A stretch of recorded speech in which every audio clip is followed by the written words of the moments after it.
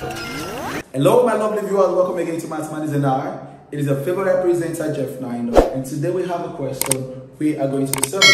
Now, mind you, this question is on plane geometry. Okay, and uh, the question said we should find the value of x given this diagram. But mind you, this line and this line they are parallel lines. So how can we solve for x given this type of question or given this type of diagram? Now, this is what we are going to do. First, let's extend this line, okay? And then let's extend this parallel line also. All right, good. To have something like this, you know, it makes more sense in this way. Now, um, what we are going to do now is this. Here we have alternate angles. Um, here, here, here.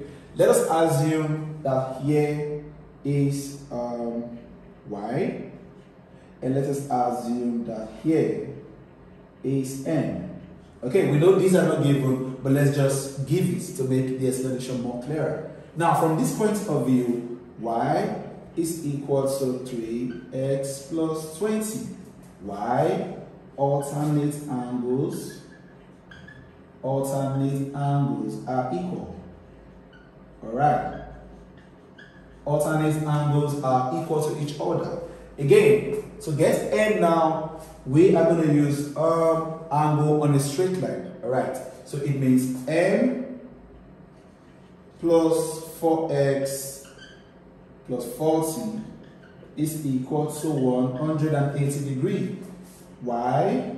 sum of angles on a straight line. All right. Very simple. Good. Now, because we introduced n, we are going to make n the subject of the formula. And for us to do that, 4x and 40 has to go to the right hand side of the equation. And so it will be m is equal to 180 degree. If plus 40 crosses, it becomes minus 40 degree. And if plus 4x crosses, it becomes minus 4x. So m is equal to 180 minus 40 gives us 140 degree minus 4x. All right, now this is what we are going to do. Now, without wasting time, watch me, okay? Um, now, we have something like this. We have some, from this diagram, I want to bring up something. We have something like this. Um, okay, here.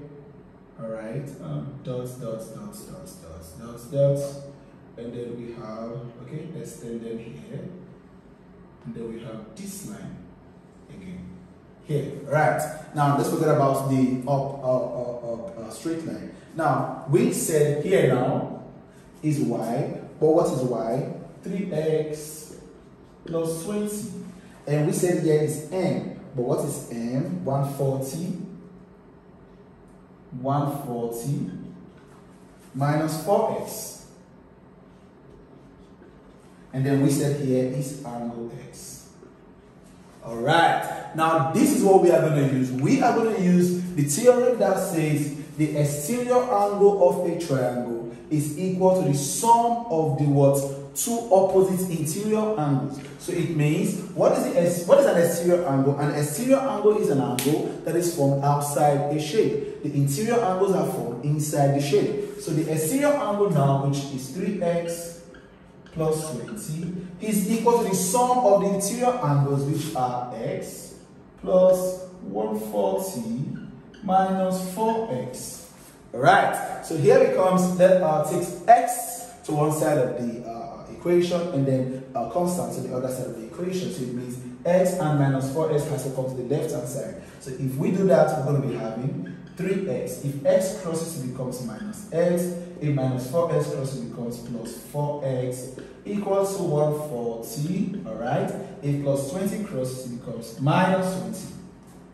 Of course, we all know 3x minus x gives us 2x, and 2x plus 4x gives us 6x. Again, 140 minus 20 gives us 120. So class, for us to get the value of x, means x has to be the subject of the formula. And for x to be the subject of the formula, we have to divide both sides by 6. Alright, so when 6 cancel out 6, we have x is equal to 120 divided by 6 gives us 20 degree.